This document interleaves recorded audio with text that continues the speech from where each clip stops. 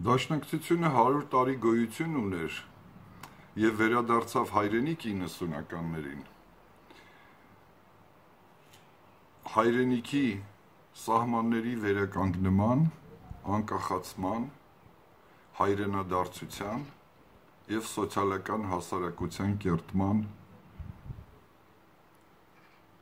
գաղափարական հենքով։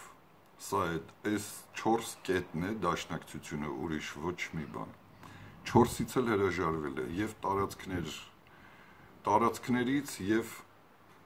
անկախությունից եւ սոցիալական հասարակությունից եւ հայրենադարձությունից ոչ միայն չի զբաղվում, այլ տապալել է, այլ գաղափարական ամբողջ խոսակցությունից, թեմայից հեռացրել են այս թեմաները։ Չկա այսպիսի դաշնակցությունը այլևս։ Դաշնակցությունը հիմա KGB-ի ջոկատ է, KGB-ի յենթակառույց Սփյուռքում եւ Հայաստանում։ Եվ որպես այդպեսին պետք է լուծարվի հայերի սոցիալիստական կուսակցության կարիքը խիստ կա եւ հին դաշնակցականները խնդիր ունեն հիմա վերակերտելու դաշնակցությունը որպես սոցիալիստական ազգային կուսակցություն հայրենադարձ հայրենադարձությունը եւ